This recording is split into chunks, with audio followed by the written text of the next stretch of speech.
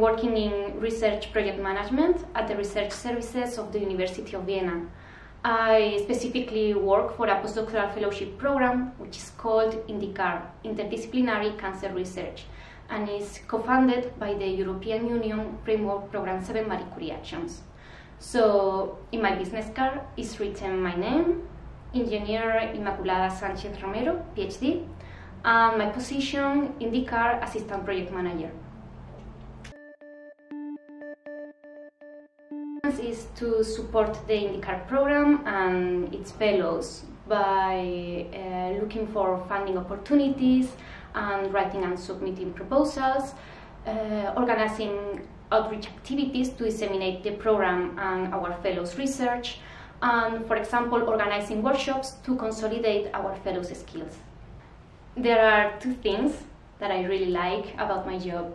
One of them is to, to organize workshops and scientific events. That's uh, something that I really enjoy. And the second one is, uh, well, I like to think that I can have a positive impact in our fellows' career by uh, looking for funding opportunities for them or contributing to their career development by organizing workshops or outreach activities. I see myself uh, working in research project management and uh, in an academic environment, uh, uh, managing a research program and supporting its fellows.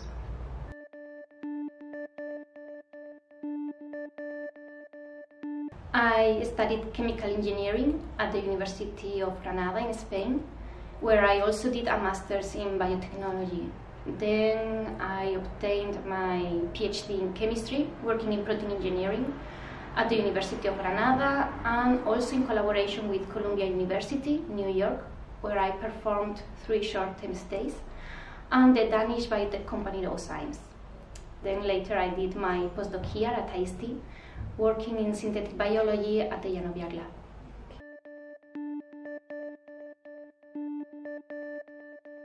Well, besides all the support in terms of uh, scientific research, at IST I had the opportunity of uh, collaborating and planning and organizing scientific events. And uh, as a result, I consolidated my organizational and management skills um, that made me realize that I wanted to focus my career in that direction.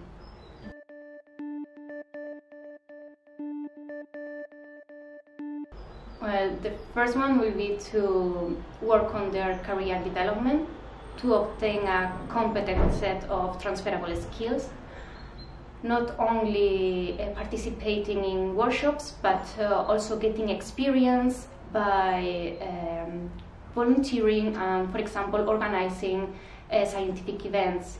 Here at IST Austria, they have a lot of opportunities for that. The second one is uh, to network, to attend conferences and workshops, to connect with people, and create a solid uh, network of contacts.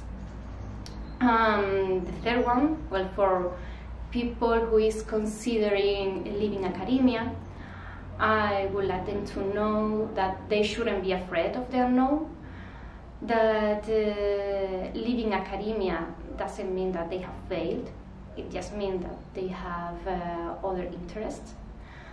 Um, well, I, uh, I think that it takes a lot of courage to to follow your dreams, to leave your comfort zone, and and to be willing to explore other possibilities.